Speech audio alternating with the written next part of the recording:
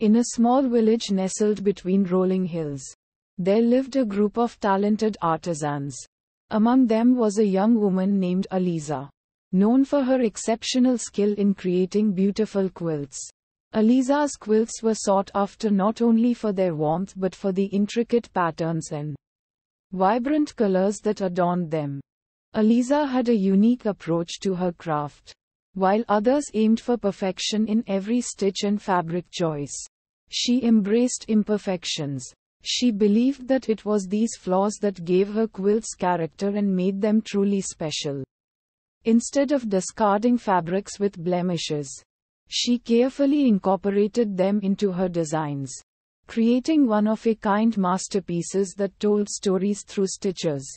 One sunny morning, as Aliza sat in her cozy cottage stitching a new quilt.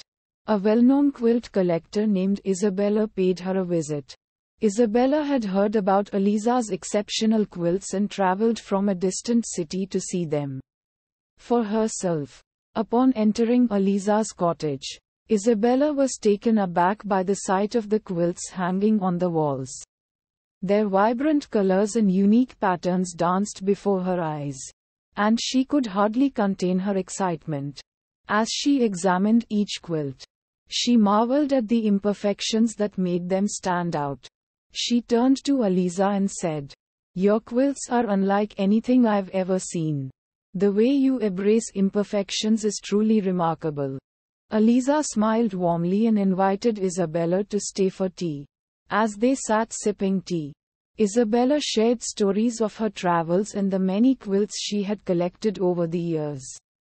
She explained that most collectors prized quilts for their flawless craftsmanship, and imperfections were often seen as undesirable. Curious, Aliza asked, Why do you think imperfections are undesirable? Don't they add character and uniqueness to each piece? Quote. Isabella pondered for a moment and then replied, you know, in the world of collectors, perfection is often associated with rarity and value. But your quilts have opened my eyes to a different perspective. Imperfections do tell stories, and they make each quilt special in its own way. As the conversation continued, Isabella realized that she had been missing out on the true essence of quilting. She had been so focused on finding flawless pieces that she had overlooked the beauty in embracing imperfections. Inspired by Aliza's philosophy, Isabella decided to change her approach to collecting. She wanted to seek out quilts that carried the stories of their creators. Imperfections and all. Over the following weeks, Isabella and Aliza developed a deep friendship. Isabella began to commission quilts from Aliza, each with a specific theme and a blend of flawless and imperfect fabrics.